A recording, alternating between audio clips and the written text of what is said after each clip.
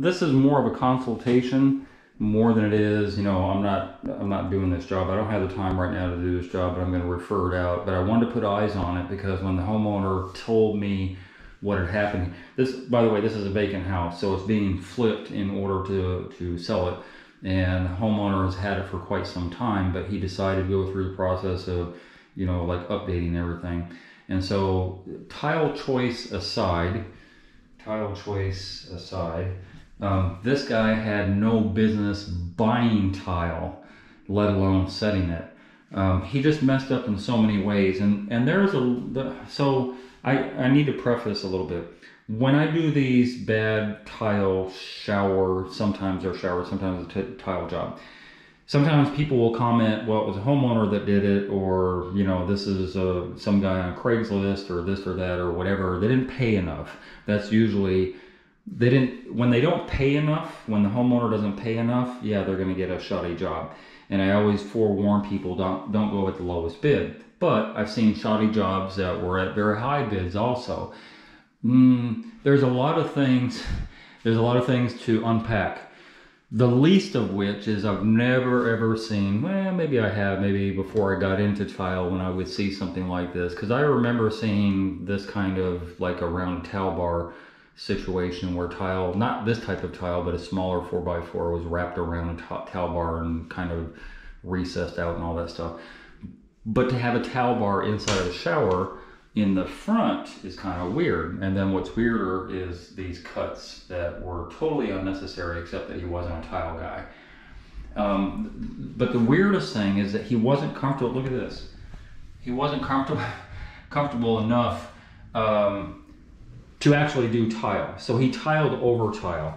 And it's really hard to see because he goobered this up with a bunch of paint or grout or something like that. But this is the original tile right here.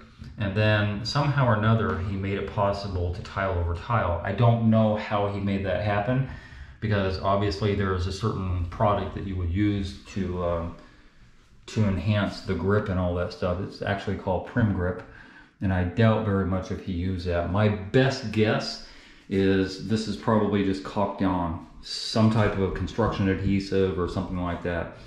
Um, just because of everything else that I see tells me that he, if he's not comfortable, if he's going to do shoddy work like this, then no doubt he did shoddy work on the install of this tile. The fact that I can even pull on it right now tells me a lot. So yeah, I'm, I'm he probably spot bonded with some caulking or something like that. So now I've prefaced everything and I've gone through a little bit. There's not a lot to unpack anymore, right? So the homeowner actually spent a, a, a decent amount of money to have this done, right?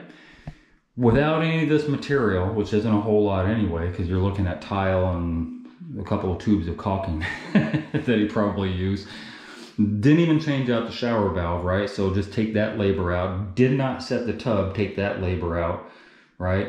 and he was charged about $1,500, which is an extremely fair price. It would be hard to believe unless you're just really, really busy that mm, a normal tile guy would not do this job for $1,500. This is a three day job. At best, it's a three day job. Once you take out the original wall, cut that out, pull out all the wall, put up new wallboard, waterproof it, put in a shower valve all the same day, right? Then you could be tiling the next day, and even if you needed a third day, $1,500 is a very, very fair price. So the fact that a lot of people talk about, you know, they didn't pay enough isn't always the case. Hmm, how would I, um, how do you vet a tiler? How do you make sure that you're not going to get ripped off? Because you can't go by pictures.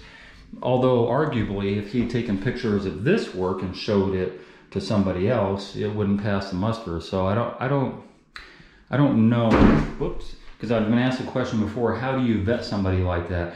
My best take on it is one, find a tile guy from a standalone tile store, right? Go back to, you know, the stock area where you're picking up material. The guy behind the counter is going to know definitively who does tile and who does showers, right? Because it's not the same. A tile guy who does floors and backsplashes is not the same tile guy you want necessarily building a shower. And I'm going to get to the shower because this is a tub shower combo in just a minute. And he messed up over there too.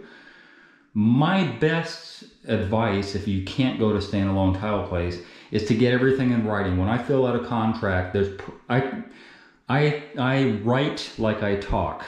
It's just a lot of information, sometimes unnecessary, but it's unambiguous. When I write on my contract, I'm going to be setting tile. I'm going to talk about the spacing. I'm going to talk about the grout. I'm going to be talking about the shower valve. I'm going to be talking about towel bars if I'm putting them in there, what kind I'm putting in and at what point and all this stuff. So yeah, look at your contract. That's the best advice I can give you to find somebody that will do what you want done that's unambiguous. And now I'm going to move on to the other shower. All right, here we are on the other shower. Uh, the floor he did do. Um, there's a couple issues with the floor. There's a little bit of a little bit of movement going on with the floor. A little bit of squishing going on. Which is a little bit odd.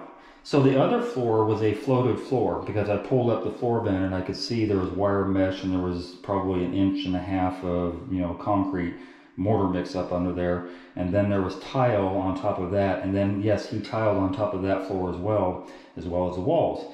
So that floor is very stable and rigid and solid, but this isn't which is a little bit odd because right here we have another floor vent. And if you look in there, we have two layers of at least three quarter or five eighths plywood that was put on here prior to any floor work. But then there's almost two inches right above that second layer of plywood of something or another, I don't know. Anyway, he definitively tiled on top of tile because he did the same thing here. He put quarter round in order to hide whatever was below that, which is tile, and then whatever is below that, which was already, um, you know, a little step up going on. Now he's got a greater one. So all that floor has to be taken out. And more than likely, mm, relatively easily because, you know, it wasn't done right. And again, I don't know what he used to adhere these tiles to the floor. Whatever it was, or whatever the prep was, wasn't done right. But here's the biggest issue and the biggest problem because this shower is um, pretty much like the other one without the top towel bar in the front. Um, don't know why the trim is black, but um, you know, cutting around and not even a good cut, you could see you overcut on a couple places, but cutting around something rather than setting that after the fact, right? That would be the way to go and not bury them inside of the wall.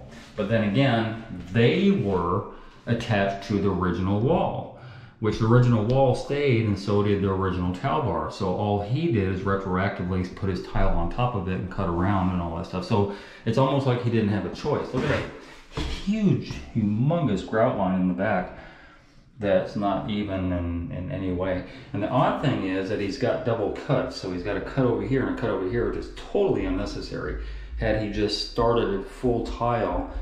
This is the simplicity of some of this, and I'm horrible at math, but the math is really easy here. Why have two separate cuts? You know, like just, yeah. I mean, it's pretty obvious. You have full two tile, and then instead of a three inch and a three inch, you end up with a six inch piece over here, or whatever the case is. Um, uh, it's hard to, it's hard to um, throw some of my critique out there as I normally do with some people who can sort of do tile, but this guy couldn't at all. Like again, same shower valve that was in here originally, which is probably as old as I am. Um, no reason to have it in there. I would always, always recommend getting rid of the double handle fixtures and putting in a single handle, you know, newer valve. But that being said, he couldn't even do the cuts right. In fact, that looks like it was nippers. It was uh, some type of cutter first, and then he kind of nipped around it. Um, and and again, I don't. So some of this the the symmetry kind of yells out at me, right? And so that's why it kind of gets me. You have this half a tile that just stops at the top, right? Where why? You know, when you can just go up past the shower head, unless he couldn't figure out how to make a hole for the shower head, kind of in the same light that he did here. Um, but it's definitively tile on top of tile, which is not working. And it's tile on top of tile here too. And of course the curb is flat and factory edges showing and all the other stuff that I usually critique on. And then uh, this quarter round to hide um, all the garbage that he tiled around. You know, just quarter round, quarter round, quarter round everywhere. And, you know, quarter round is normally used as a technique to hide cuts up to a wall or something, but not to hide, you know, your total screw up. And then, of course, last but not least, a large format tile in a shower, which can be done, but not like this. Um, it can be done either using like 45 cuts on the tile with the drain in the center, which is not. Um, it could be done that way. It could be done with a linear drain down at the end or down at the end down here, I suppose. Um, in other countries that I've been to, I see large format tile, 12 by 24, used on a shower all the time, but with a linear drain. That's how you make it happen. It's really hard to get a center drain with large format tile unless you make appropriate cuts and get everything symmetrical. Other than that, it's a great job.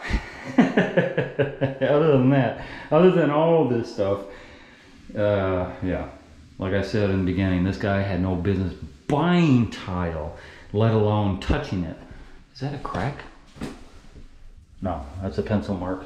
Um, so again, uh, the homeowner wasn't able to remember what he spent on this, but but with the floor inclusive to the shower and all that stuff, he spent a whole lot more than he did in the in the other bathroom, and it's a shame because it's probably pushing four or five grand. My best guess, hmm, maybe not quite that. He didn't get he didn't get the lowest price, which is good, but he got the lowest price result, and he didn't get the highest price which is not necessarily good but here's the thing you know you end up spending twice if you go if you go with somebody that you don't know their skill ability right let's say that that other bathroom was 1500 and let's say he he chose to charge 2500 or 3000 on this.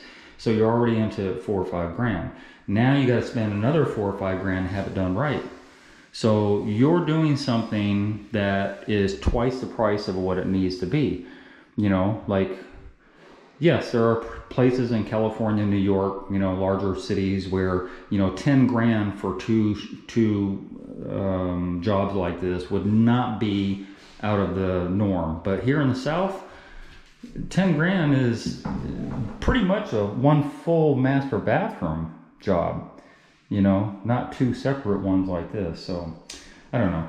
I try and put information out there for people to decipher whether they're going to do a project themselves or hire somebody to do a project, either which way, know what you know before you don't know what you don't know, because this guy didn't know. He wasn't here during the process. That guy jumped from that job over to here probably in the same week, because that other job didn't take but, you know, a day. Um, just a shame. I hate to see I hate to see people waste money. Hey, if you enjoyed that video and you learned something, consider being a Patreon member. 5 10 $15 a month would help me greatly produce more videos. I make nothing from YouTube at all.